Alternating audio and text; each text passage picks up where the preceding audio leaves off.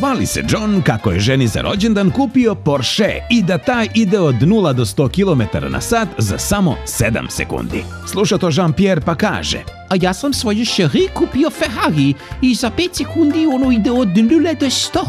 Sluša sve to i Mujo pa i on progovori. Pa ja, ja sam svojoj Fati kupio poklon.